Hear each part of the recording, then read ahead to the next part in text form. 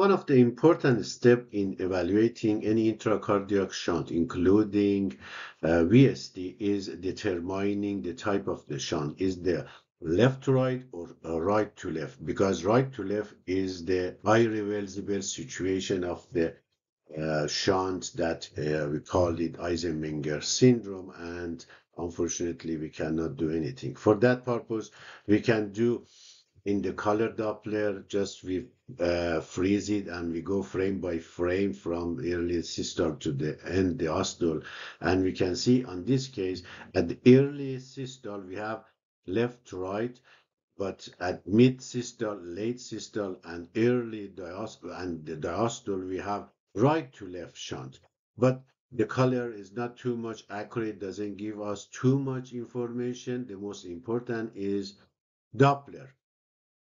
Doppler, we go on the view that has parallel to the jet, on this case physics. When we do continuous, as you can see here, we have bidirectional uh, shunt.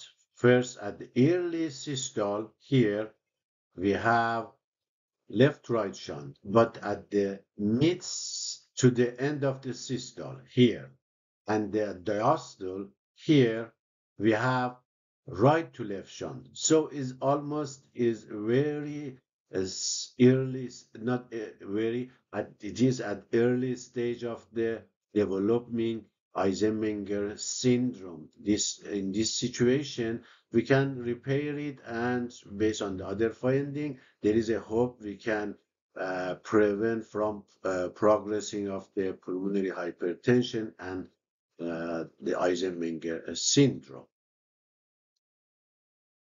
is on the location of the shunt.